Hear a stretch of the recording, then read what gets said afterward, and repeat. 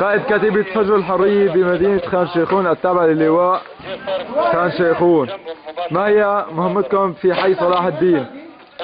نحن اجينا من خان شيخون بعونه تعالى لدحر جنود الأسد منطقة صلاح الدين. والحمد لله دحرناهم ليم الملعب ال- صلاح الدين.